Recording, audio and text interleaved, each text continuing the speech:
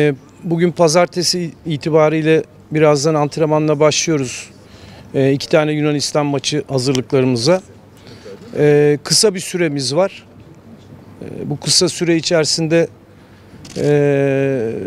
maça odaklanmamız gerekiyor. Yani genel anlamda biz kendi milli takımımızın basketbol kültürüne de sahip çıkarak, değerlerine de sahip çıkarak ama sahada da kendi adımıza hem iyi taraflarımızı hem kötü taraflarımızı da eksikliklerimizi de bilerek e, bu maça e, özellikle oynadığımız iki maçı bir maç olarak değerlendiriyoruz. Çünkü burada oynadığımız sonuçları diğer gruba da e, taşıyacağımız için e, bir hazırlık süreci geçireceğiz. Öncelikle tabii diğer pencereye baktığımızda e, biraz daha Euroleague oyuncularının başından itibaren bizde daha fazla beraber olması e, olacağı ortaya çıktı. O bizim için sevindirici. E, başından beri zaten kulüplerimizle bu süreci e, onların da bize gösterdiği destekle beraber e, bizim de oradaki oynanan e, o level'daki müsabakalarda onlara gösterdiğimiz destekle beraber bu süreci zaten yönetiyorduk.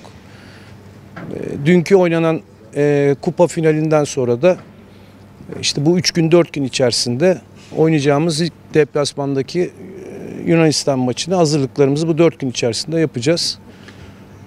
E, burada tabii oynayacağımız ekip e, Avrupa basketbolunda önemli bir ekip. Onlar da bu karşılaşmalara önem veriyorlar. Onlar da kendilerinin oynayabileceği, en iyi getirebileceği en iyi oyuncularla muhakkak ki karşımıza çıkacaklardır.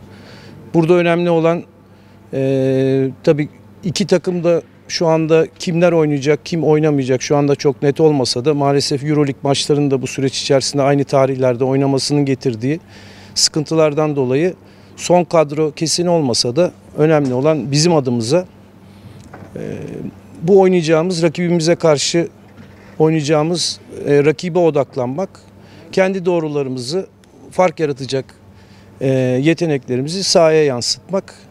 E, onun için e, deplasmandaki maç bizim için önemli. Muhakkak burada oynayacağımız iç sahadaki maçta alacağımız seyirci desteğiyle beraber oradaki coşkumuz, oradaki enerjimiz e, zaten ülkemizde oynadığımız maçlarda her zaman açığa çıkıyor ama deplasmanda da iyi bir basketbol ülkesine karşı oynayacağız. Onun için e, akıllı bir basketbol oynamak, istediklerimizi sahaya yansıtmak ve günlük performans saha içerisinde önemli olacaktır. Bu süreçler e, bir sistem, bir düzen oluşturmak için yeterli süreçler değil ama iyi konsantre olup iyi odaklandığı zaman da e, bir şekilde geçen seneden beri bu pencerelerde oynadığımız bir grup oyuncu e, topluluğu var. Bu oyuncularla beraber iyi bir şekilde sahada istediklerimizi ortaya koyduğumuzda fark yaratabileceğimiz şanslar. Onun için bu şansı en iyi şekilde değerlendireceğimizi düşünüyorum. Şimdi buraya şöyle bir parantez açmak istiyorum. Bizim e, tabii Euroleague'de de bir sıkıntımız var. Çünkü Euroleague'de oynayan oyuncularımız da çok fazla süre ve burada onlardan beklediğimiz sorumlulukları da almıyor. Yani bu da belki e, bazı oyuncuları alsak da e, burada da oyuncuların ritimsiz olduğunu da görüyoruz. NBA'dekileri zaten al- alamadığımızı biliyorsunuz.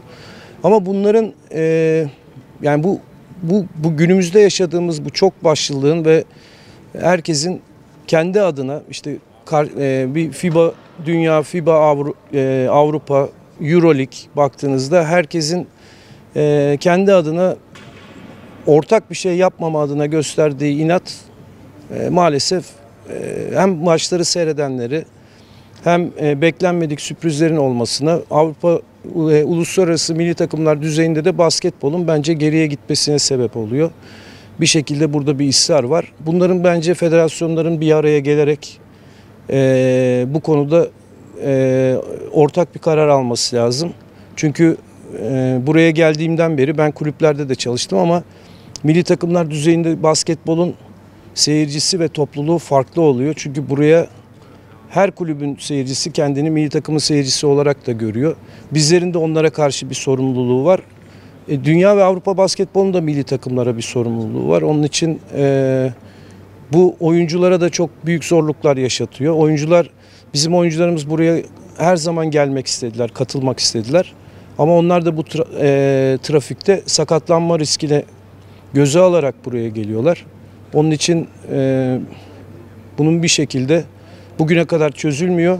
E, hala e, kesin net adımlar atılmıyor ama işte yazın güzel bir süreç var. Yazın toplanabileceğimiz zamanlar var.